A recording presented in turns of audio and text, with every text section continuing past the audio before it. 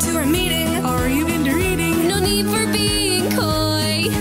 We'll improve your uptake. Have a freaking cupcake, and must you bring a boy? Time to write some poems. Don't be scared to show them. The festival stays away.